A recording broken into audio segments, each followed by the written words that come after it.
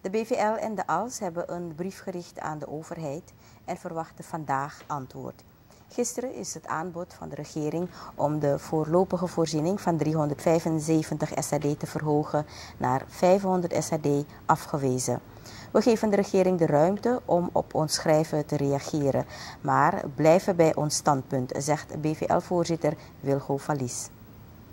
Valies zegt dat de leerkrachten in de brief naar de regering het verzoek hebben gedaan om aan de eisen te voldoen zoals gevraagd. Anders blijft de regering de leerkrachten maar op lange baan houden. Valies zegt dat het te lang duurt voordat het min of C met de afgesproken informatie komt. Hij vraagt zich af welke werkgever niet weet wat de kwalificaties en de salarissen van zijn werknemers zijn.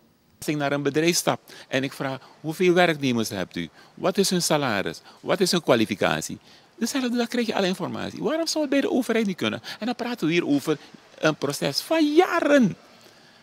En dan moeten de leraren daarvan de dupe worden. En steeds moeten we dit soort verhalen aanhoren van, van beleidsmakers. Dus we, we, zijn, we, zijn echt, uh, we zijn echt nu op een punt bereikt waarvan we zeggen dat begrip willen we niet meer opbrengen. Er is een overeenkomst, houdt u zich aan, aan die overeenkomst. Als u zich daar niet aan houdt, dan zijn dit de consequenties. Minister Penu gaf in de Nationale Assemblée aan dat de administratieve processen nog niet zijn afgerond. Valis zegt dat hij niet snapt wat de bewindsman bedoelt met deze uitspraak. Het is voor hem en de leerkrachten nog steeds niet duidelijk wat de regering precies van plan is. Wat wilt hij zeggen? Wat wilt hij daarmee zeggen? Dat is voor mij, is is voor mij onduidelijk. Wat ik kan zeggen is, uh, in het, dat hele herwaarderingsproces uh, wat we nu meemaken is één, waarbij de overheid tegen ons heeft gezegd, we willen een goede calculatie maken wat het ons allemaal gaat kosten. We hebben data nodig en aan de hand van de data komen we tot, hey, het gaat ons zoveel geld kosten, hoe gaan, zijn we in staat om dat te doen enzovoort. Dus dat is duidelijk. Maar het probleem is, we hebben een ministerie van Onderwijs.